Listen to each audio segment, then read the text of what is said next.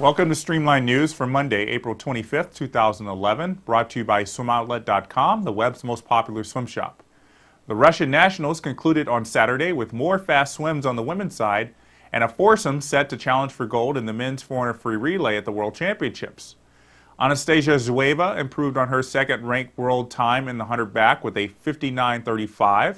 She's still a couple of tenths behind Japan's Aya Terakawa in the world rankings. Yulia Efimova, mostly known as a sprint breaststroker, became the third fastest 200 breaststroker in the world this year with a 224.17. Nikita Lobintsev won the men's 100 freestyle with a 48.62 to move into a tie for sixth in the world rankings. Andrei Grechin and Danila Izotov, who were both on the 400 free relay that won silver at the 2009 Worlds, placed second and third. Finishing fourth was Vladimir Morozov, who trains in Los Angeles at the University of Southern California and will represent Russia in his first international competition. We've got recaps from all four days of swimming in Russia on our World channel at swimmingworld.com.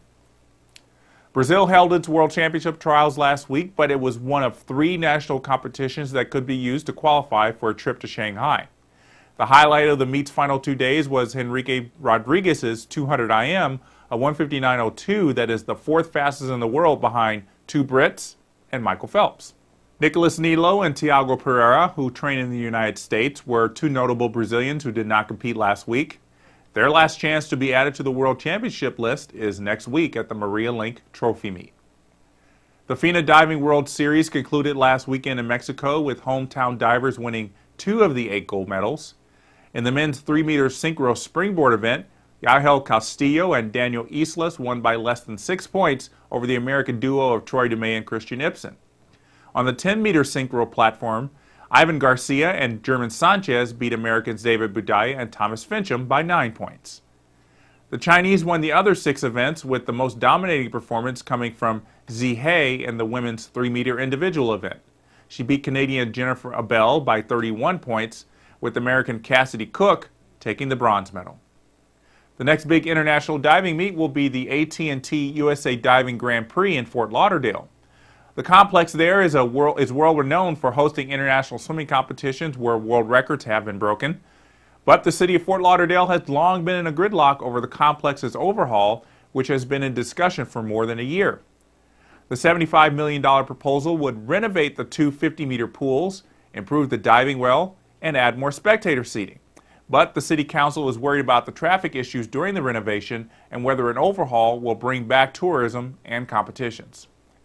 The YMCA Nationals had been held at the Hall of Fame pool for many years, but meet organizers are now considering a new city. Fort Lauderdale is a big part of the news today. USA Swimming announced that the site of the Open Water Nationals has been moved from Fort Myers further south to Fort Lauderdale.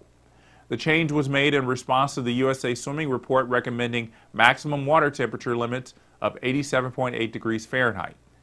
The event will be held June 10th through the 12th. And finally today, the swimming community is mourning the loss of Tennessee assistant coach Joe Hendee, who lost his battle with brain cancer on Sunday.